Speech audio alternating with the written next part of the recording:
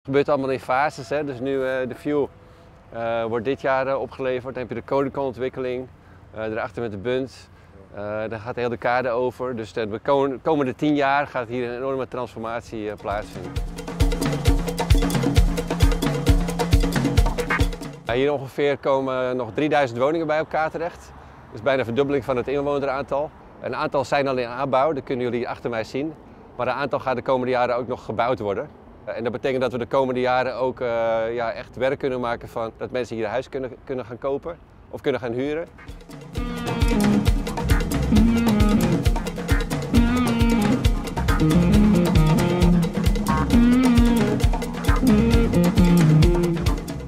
Pakhuis uh, Santos, een geweldig pand met die kroon erbovenop. Waar het Nederland Fotomuseum in gaat komen. Die zijn nu heel hard aan het werk om uh, dat voor elkaar te krijgen. Die gaan open in 2025. En daarvoor komt uh, de View 2. Dat is de ontwikkeling van de View Rotterdam. En daar komt ook uh, de nieuwe Jumbo in. Achter, dus meer richting de Rijnhaven kant, aan de kade, zien jullie de View 1 en het hotel daarachter. Hiervoor, wat nu leeg is, komt de ontwikkeling van de Bunt. Ongeveer 500 appartementen. Ja. En als je dan iets verder kijkt naar die kant, uh, meer richting de Phoenix heb je de Codico fabriek. En daar komt de Codico ontwikkeling.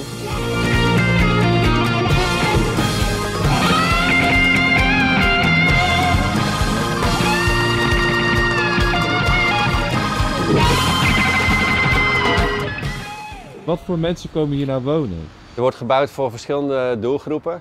Uh, om bijvoorbeeld te noemen bij de Codico ontwikkeling van de 1500 woningen is 50% betaalbaar. Uh, wat is betaalbaar? Ja, dus, dus zeg maar uh, wat in, in de woonvisie van de gemeente Rotterdam als betaalbaar is gekwalificeerd. Ja. Uh, dus een bepaalde grens is dat. Ja. En daar zit ook nog binnen die 50% zit ook nog 10% sociaal. Ja. dus dat is daar ook in opgenomen.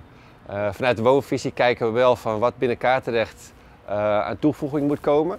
Dus dat is niet alleen betaalbaar, maar ook boven betaalbaar. Ja, onbetaalbaar heet dat toch?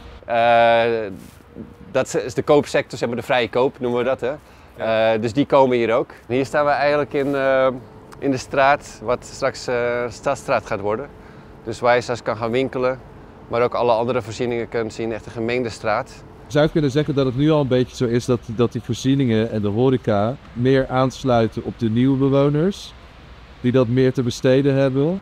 Ja, we kijken natuurlijk, je kijkt vooral naar de behoeftes van mensen. Het is ook aan de markt kijken wat is nou economisch uh, mogelijk of niet. Ja. Uh, en uh, het voordeel is van hoe meer mensen er zijn op een, in een gebied, dan is de economische draagvlak daarvoor wordt ook groter. Dus dan is het misschien ook makkelijker dat er een supermarkt of een andere winkel ja, makkelijker kan blijven bestaan.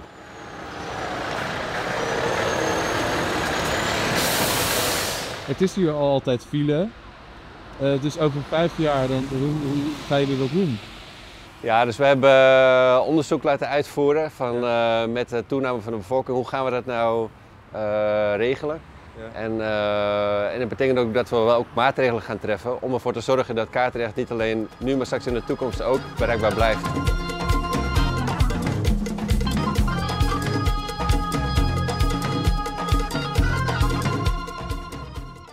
Staan hier aan, uh, aan de kade, wat straks onderdeel is van het uh, rondje Rijnhaven. Met uh, ontwikkeling van, van de pols hier kunnen mensen straks echt flaneren en dat rondje Rijnhaven gaan doen. Dus straks naar de Rijnhavenbrug, kunnen straks naar het Landverrijsmuseum gaan, naar de Phoenix. Vanaf metrostation Rijnhaven, helemaal tot aan, de bedoeling tot aan de kop van Kaartrecht. dat heel die kade open wordt gemaakt. Eigenlijk wat je nu bij de Wilhelminapier ook ziet. En dan uh, zo volmaken we het rondje van de Rijnhaven.